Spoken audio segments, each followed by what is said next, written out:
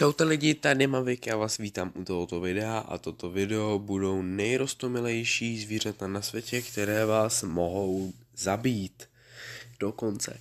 No tak, první jsem si vybral labuť velkou. Labuť velká na vás může zautočit, pokud se přibližujete k jejím mláďatům a i já, když jdeme kolem našeho rybníka, v zámrsku máme rybník, pokud se to nikdo nevěděl, tak pokud potkám labuť, vyhejbám se jí velkým obloukem.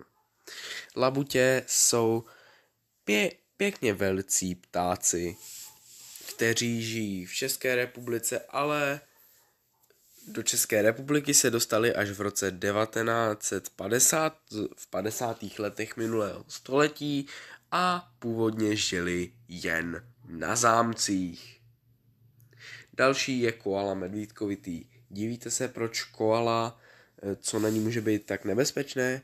Její ostré drápy.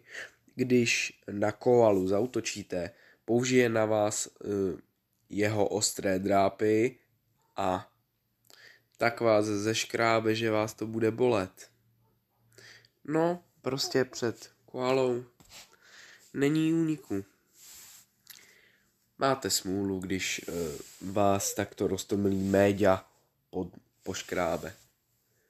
Na dalším místě jsou delfíni. Když delfína vyprovokujete, může vás občas i hryznout a docela to bolí. Jestli to někdo z vás zažil, pište komentáře, jestli vás hryznul delfín. Delfíny v Evropě nechová tolik zoologických zahrad, jediná, jediné dvě zoologické zahrady jsou v Duisburgu a v Norimbergu, obě v Německu a do Duisburgu se chci podívat, takže určitě bude vlog ze zoo v Duisburgu. Tak, čekujte do té doby můj kanál. Budou tam vycházet topovky. Teď každý, každý týden aspoň jedna topovka bude vycházet. Tak jdeme dále. Další je outloň.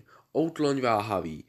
Malá rostomilá poloopice asi, kterou mají v Pražské zoologické zahradě. Jak?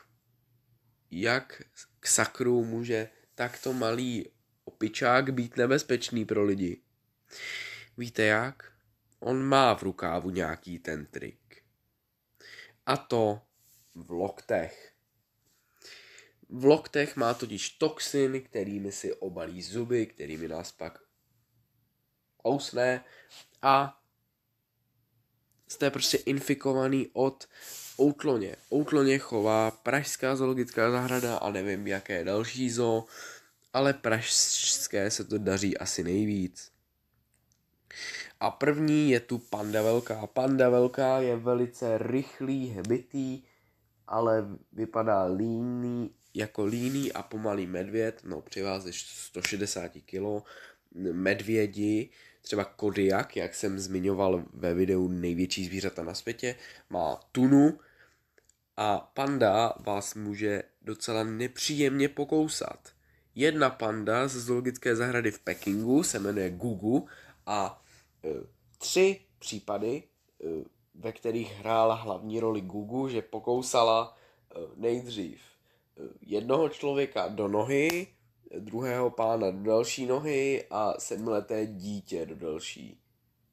Prostě Gugu, panda útočící na nohy. No tak, tohle bude všechno k tomuto videu. Já se s vámi loučím a u dalšího videa. Ciao.